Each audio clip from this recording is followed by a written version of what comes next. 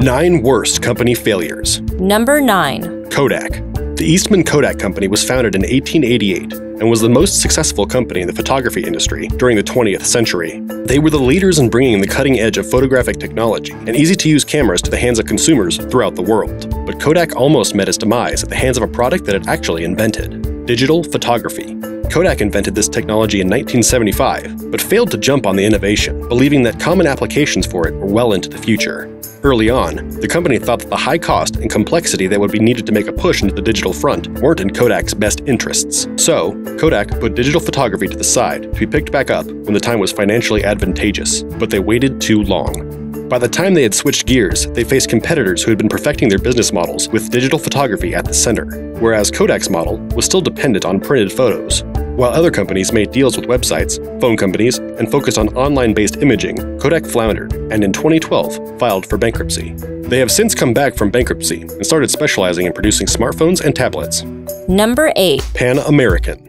From 1927 until 1991, Pan Am was the largest airline company in the United States. But due to bad foresight, callous labor practices, and an uncontrollable disaster, this global giant quickly met its end.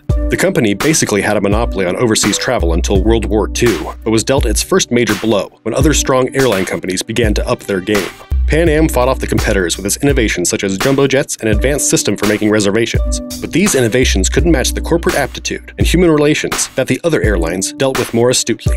One of the main reasons for Pan Am's failure, ironically, was due to its early successes. Because of the sheer size of its fleet, it was the company hit the hardest by the 1973 oil crisis. Just before the crisis, Pan Am had purchased a number of brand new gas guzzling Boeing 747s and was forced to dramatically raise ticket prices to recuperate. As it was trying to recover from this setback, it had also become the target of terrorism in the Middle East. To the terrorists, Pan Am was a symbol of the United States overseas because it was the largest U.S. airline servicing the area. During the Gulf War, in the midst of financial hardships and battles with labor unions, Pan American 103, on a transatlantic flight from Frankfurt, Germany to Detroit, was blown up by Libyan nationals above the Scottish town of Lockerbie. The incident scared even more customers away from flying Pan Am, and many travel agents would no longer book flights on their planes. All of these events and the poor managing of them led Pan American International Airways to declare bankruptcy and completely fold in 1991. Number 7. Borders. Tom and Louis Borders opened their first bookstore in 1971. Their vast selection of books, and innovative inventory system, turned them into the second biggest chain of book megastores. Due to years of miscalculating the future of book consumption, the bookstore all but vanished in 2011. It all started in the mid 90s when Amazon and other online stores hit the scene. Instead of developing their own website and focusing on online sales, the company decided to further their storefront endeavors and expanded into Europe and Asia, opening hundreds of stores.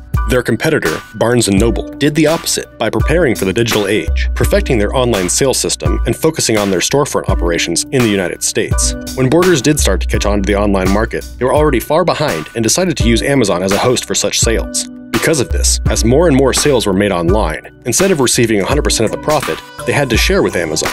Borders was also caught in the past by devoting lots of money and inventory towards DVDs and CDs at a time when digital music and video was on the rise. While Barnes & Noble developed its own e-reader to grab the paperless book market by the horns, Borders was extremely slow to adapt to the change. All of these factors came to a boiling point in 2006, when after several years of losing millions of dollars, Borders filed for bankruptcy. By 2011, Borders realized there was no way out and closed most of its remaining stores. The only stores remaining are in Southeast Asia, where it remains Borders in name only, as they were sold to a company named Popular Holdings. When they closed their doors, they sold their brand trademark and many other assets to longtime rival Barnes & Noble. Number 6. Nokia. Founded in 1865 as a paper mill, Nokia slowly worked its way from producing paper to the latest technology. In 1987, Nokia released the first handheld mobile telephone, and it was an all time bestseller. Because of the resounding success, Nokia decided to switch their company's specialty completely to telecommunications. The Finnish based company would be at the forefront of cellular telephone production and design for the next 15 years, and even created one of the first smartphones back in 1996. However, the aspect of creating easy to use and innovative software for their phones escaped them, as the phones they created to compete with the likes of the Apple iPhone and Google's Android weren't as user friendly and prone to bugs. This was most likely due to the company's desire to remain hardware focused and resistance or inability to become software savvy. Almost immediately after the release of the first iPhone, Nokia's sales started to plummet. In order to avoid complete failure, the heads of Nokia decided to cut their losses and sold their phone business to Microsoft in 2013 for $7 billion. Chump change when you find out that in 2006 they were worth over $150 billion. They have since made a semi comeback via other types of technological endeavors such as virtual reality cameras, medical tech, and networking equipment. In 2016, Nokia made a net profit of $26 billion. Number 5. Sony. The Japanese based company Sony, founded in 1946, is still one of the most powerful tech companies in the world, but they made a giant misstep that cost them the position of lead dog in the portable music industry. Throughout the 90s, the Sony Walkman was the main product people turned to for music on the go, but in 2001, Sony was dealt a major blow when the Apple iPod was released. How did Sony not see this coming? Well, it turns out that they did, and as early as the mid 90s, the company had the designs and ability to create a digital music device that would have been years ahead of its time, but they never released it. When they realized they suddenly needed to catch up, they found themselves in the same boat that Nokia did with phones. They focused too much on making great hardware and not enough on creating user friendly software, and lacked a central vision for their product. Instead of having a single streamlined product like the iPod with an easy to use music interface, such as iTunes, they released several products that each had their own programming flaws and weren't compatible across devices. In addition, the devices were made to only play a single type of music file, so they were only formatted to play music from companies Sony had contracts with unlike iTunes, which could play several types of files. If not for these mistakes, Sony may have become the most powerful tech company in the world and relegated Apple to focus on personal computers, avoiding the music business altogether. Number 4. Yahoo. Founded in 1994, Yahoo is one of the dominant web portals in the early days of the internet. But due to a series of bad business decisions, or just plain bad luck, the company started steadily declining in 2000, leading up to their acquisition by Verizon on June 13, 2017. The first major mistake that Yahoo made was failing in their bid to purchase Google in 2002. When the founders of Google told Yahoo they would sell for $1 billion, Yahoo initially refused. When their chief executive, Terry Semel, changed his mind and decided to take the offer, it was too late, as Google decided they wanted 3 billion instead. The next missed opportunity that Yahoo bungled was not offering more money to acquire Facebook. Apparently, Yahoo again offered $1 billion to buy the company, but Facebook refused. Several members of Facebook's board came forward saying that if Yahoo had increased the offer to 1.1 billion, they would have voted to sell. Yet another deal that fell by the wayside was when Microsoft offered Yahoo over $40 billion to take over in 2008. Yahoo rejected the offer, citing that they thought it was too low. But within a year, Yahoo came crawling to Microsoft and signed a deal to use Bing as their search engine, giving up on creating their own. Finally, the main reason for Yahoo's demise was not adapting fast enough and being content with being a web portal in a search engine world.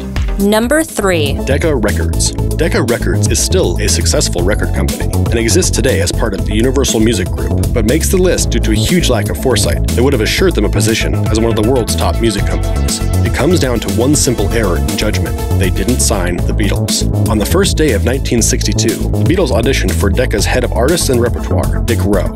They recorded 15 songs as demo, and though they were nervous, they thought they had the contract in the bag. But when making his decision, Dick Rowe infamously quipped, guitar groups are on the way out, and turned them down, opting to go with another group.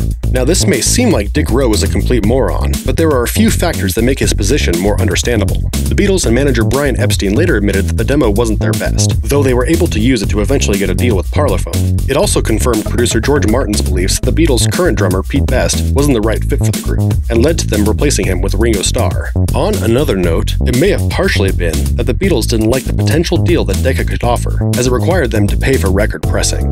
Decca would eventually recoup from the missed opportunity, thanks to none other than George Harrison, as they signed the Rolling Stones at his recommendation. Despite it inevitably working out for both sides, Dick Rowe would forever be known as the man who rejected the Beatles. Number 2. Sharper Image. Because of the broad, unfocused nature of the quirky retail chain, you might say it was destined for failure. The fragile business model was based on betting on the next big thing in home appliances and gizmos. All it took for the brand to crumble was putting too much money into products that failed miserably. That's exactly what happened with the Ionic Breeze. The product was designed to create a healthy environment inside of homes by purifying the air, but what it did was closer to the opposite. In 2003, the magazine Consumer Reports published an article that completely debunked the validity of the Ionic Breeze, finding that it didn't even clean the air, and some of the models even released dangerous amounts of trioxygen, or ozone. Instead of pulling the product, Sharper Image decided to sue Consumer Reports for libel and restore their credibility. This backfired as the court ruled in favor of Consumer Reports. The lawsuit was extremely costly and ended up only further destroying Sharper Image's reputation. The failed suit, coupled with thousands of angry customers demanding refunds and voicing their contempt with the company, was a major factor in Sharper Image filing for bankruptcy and closing all of its stores in 2008. The company now exists only as an online store and monthly catalog. Number 1. Blockbuster. Though they have slowly been fading into the back of our memories as if a dream, video stores were once a real thing and were a successful business. Blockbuster, founded in 1985, was the biggest fish in the sea during the home video gold rush, which reached its pinnacle in 2004. But only a few years later, the company became almost non existent. Blockbuster went from having around 9,000 stores worldwide in the 1990s to less than a dozen today, most of which are located in Alaska, and most likely won't be around for too long. So, what happened? Well, in 2000, the heads of Blockbuster, including CEO John Antioco, made a decision that in hindsight sealed the company's fate. They were approached by a young upstart entrepreneur, Reed Hastings, with an idea that if Blockbuster promoted his video delivery service Netflix in their stores, he would run their website and online features. Apparently, they thought Hastings was joking and brushed him off. Within 10 years, Blockbuster was filing for bankruptcy, and Netflix was worth over $25 billion, five times the $5 billion that Blockbuster was worth at its peak.